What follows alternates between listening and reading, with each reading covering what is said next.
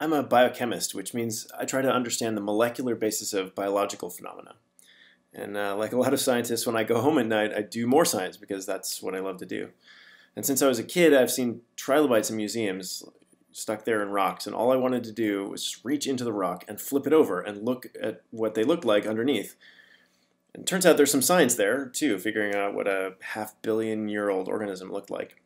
So, the same way that we know that many dinosaurs had feathers, paleontologists have reconstructed what trilobites look like too from fossil evidence. So I put the kid and the science scientist in me to work and made one.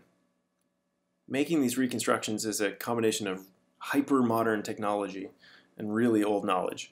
So I start with photographs of the species group, fossils, as many as I can find. And, and for the legs and antenna, I, read papers written by a paleontologist who did extraordinarily painstaking studies of the very rare fossils that show soft tissue preservation, too fragile to scrape away the rock like a normal fossil. So instead, he ground away the rock in a thin layer, drew the shadow of the embedded fossil slice, and ground the rock again, drew it and ground it and drew it until he could reconstruct the positions of, of the limbs and the gills as they were embedded in the rock.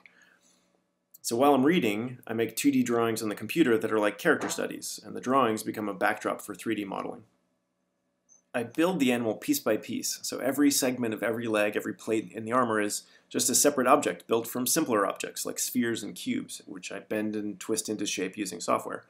When all that's done, I upload the design to a 3D printer and print it. In goes the digital design, and out comes the physical object. But for solid bronze or silver, that's a whole new level of complexity. I make the design and send it to a 3D printing company, Shapeways, where it's first 3D printed in wax on a high resolution 3D printer. Then the wax print is cast in metal using lost wax casting, which humans have actually been doing for more than 5,000 years. They send me the physical piece of metal re resulting from the digital design. Opening that box is also always really exciting. Then to add color, I put a patina on the shell by oxidizing it using liver of sulfur, another really old piece of knowledge.